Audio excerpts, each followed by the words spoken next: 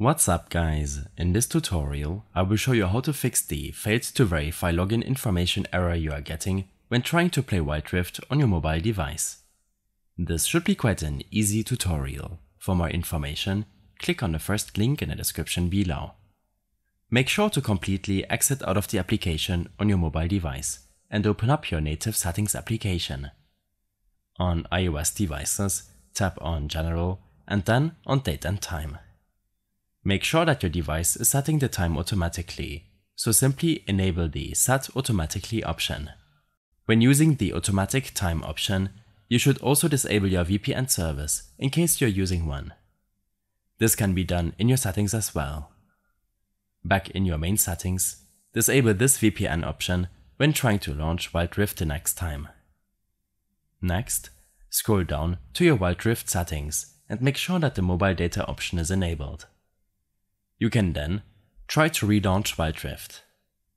In case the problem persists, make sure that you're using a reliable network connection and that the Wild Rift servers are operational.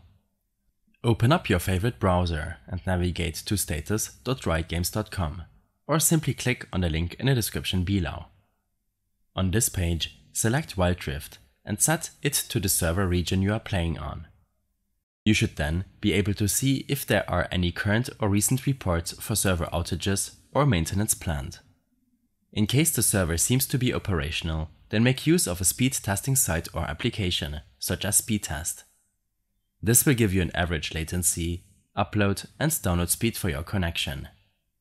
In case your ping is higher than 100 milliseconds, or you are having an unstable download speed, then you should consider using a different network connection to play Wild Rift on your mobile device. To further improve your network connection, you can restart your router or modem if you haven't done this in a while.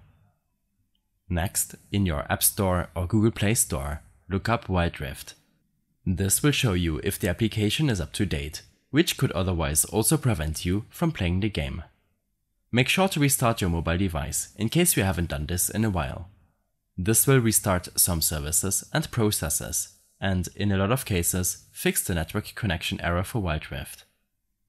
As a last resort, log in to your Riot account using your browser and make sure to log out of all devices currently using your login credentials and try again. In case the login error persists, or if you wish to preview your ping or latency while playing Wild Rift on your mobile device, then I suggest following my extensive guide linked in the description below. I hope this helped you out, leave a comment if you have any questions, and see you in the next